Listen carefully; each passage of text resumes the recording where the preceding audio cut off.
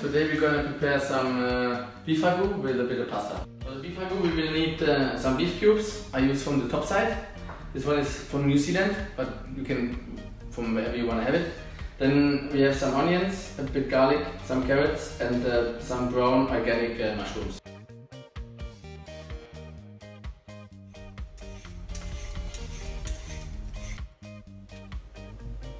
And the mushrooms, just cut the bottom part from the stem because that's where they come basically out from the soil and also like normally look so nice.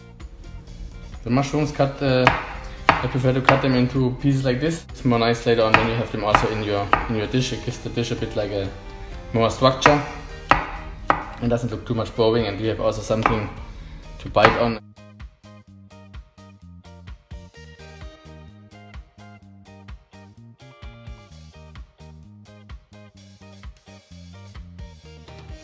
Is gonna be good for four people. The garlic I just roughly chop. The carrots also cut not too small, so later on everything will be not too soft. I'm gonna cut it in pieces like that.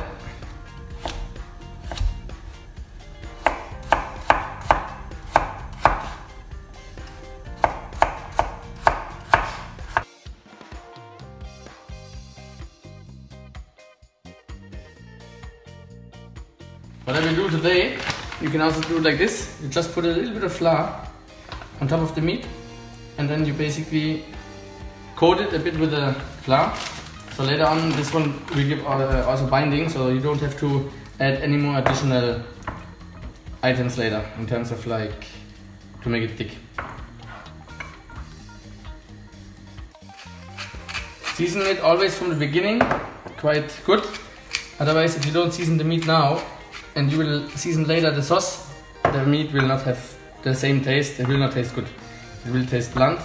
Even the sauce is gonna be nice tasty, but the, once you eat the beef, the meat, it will not have uh, really uh, a nice flavor.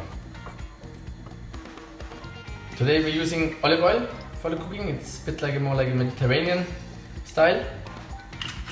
The pot is uh, already preheated, so otherwise the meat will start cooking and will release water and then it will start boiling and we need to avoid that because then the, the meat also will be become more like chewy and even if you're braising it but still it's much more nice if you do it really hot hot.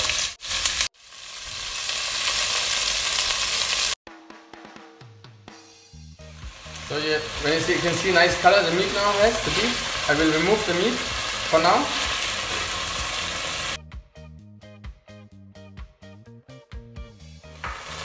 I will add now the onions after I remove the beef, onions and the garlic, and I will also add now the carrots. This one we're gonna see off now for maybe some five minutes, give it some color, and then once it has a nice color, we also will add the uh, mushrooms, uh, sear it a bit more, then we're gonna add the beef, and then we continue.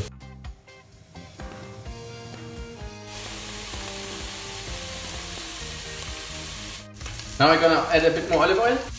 The carrots and the onions and the garlic, they have already a nice roasting color, as you can see. And now we're gonna add the mushrooms. We're gonna add one table, one teaspoon of uh, tomato paste, and we're gonna add also some paprika powder. Not too much, um, but I like the flavor. It makes it a bit more rich.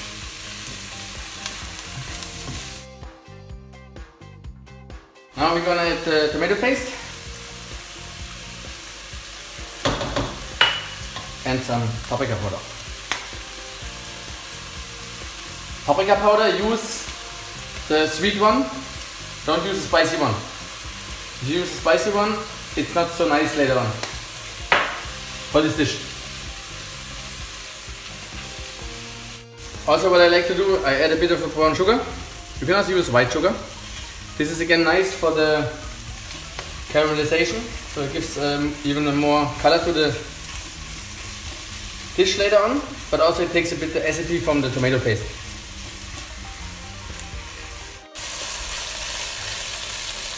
Now once everything has a nice color, roast it all together for some time.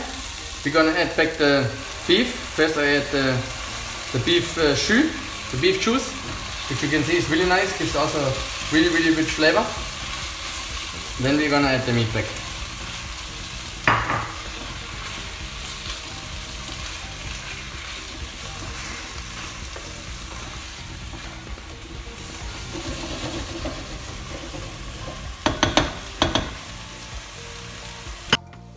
Now we add some beef stock.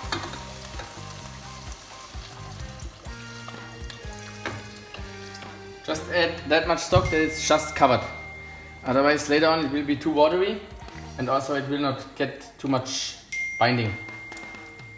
And also I'm gonna add always some one piece of bay leaf or two pieces if you have smaller ones. Gives a nice flavor to it. I will add some more additional seasoning salt and pepper. Don't put too much because the final seasoning will be in the end. Because later on it will, using more, it cooks down. So you will lose some of the liquid, so it will get more strong the flavor. So if you put now too much salt and too much pepper, it will become too much strong later on and you cannot really fix it anymore. Now we're gonna cover the meat, uh, the stew, and let it cook for like one, one and a half to two hours, but it depends also on the size of the meat, what you have, and also what kind of meat you're using.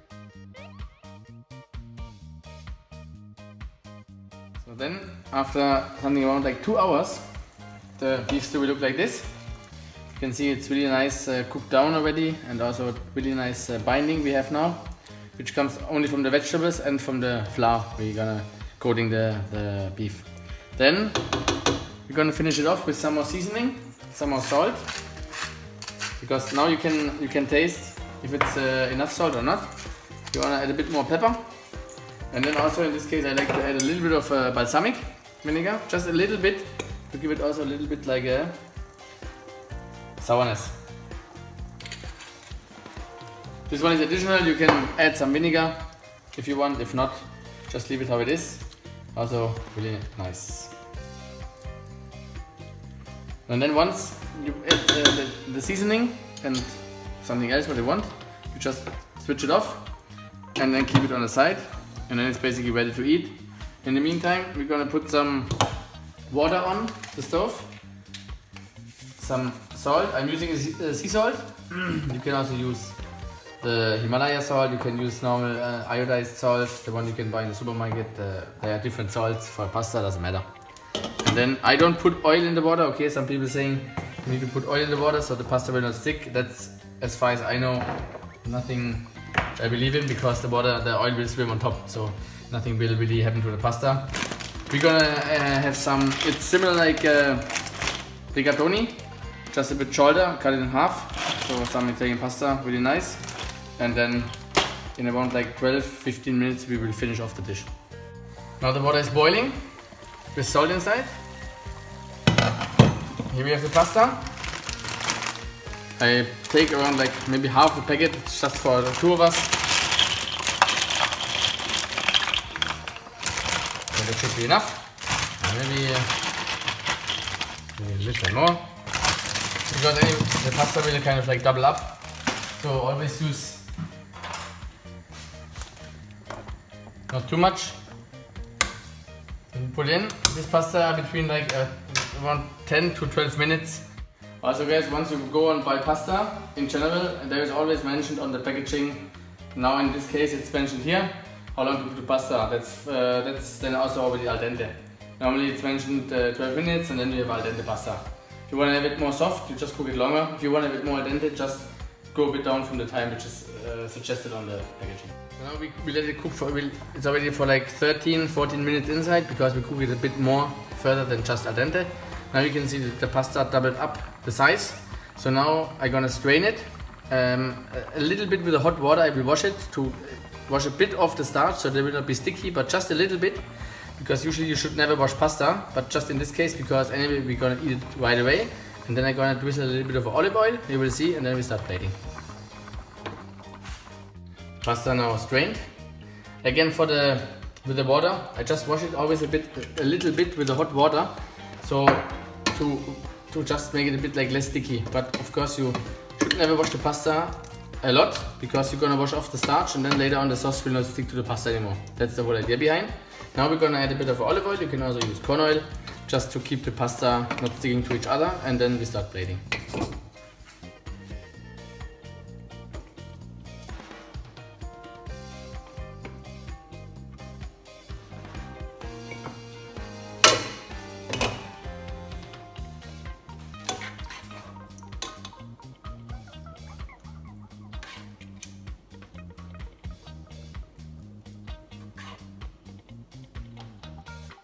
So here we have now our dish ready to eat.